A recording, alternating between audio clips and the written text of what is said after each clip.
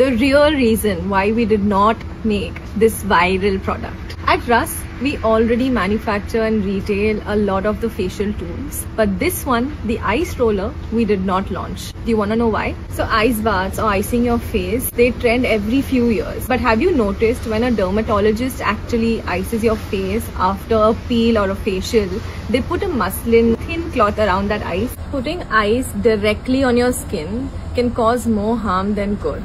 Think skin irritation, broken capillaries, dryness, redness, and so much more. A better solution would be to use your jade roller or your rose quartz roller, put it in the freezer for some time before you use it and that would give you the same results. An even better solution would be to use our electric face massager which promotes microcirculation. It activates skin cells and improves the radiance of your skin and improves your skin elasticity. This in the long run helps reduce fine lines and any signs of aging. Remember to use a face elixir, face oil or any moisturizer before you go in with your face tools. And remember to not fall for every skin trend.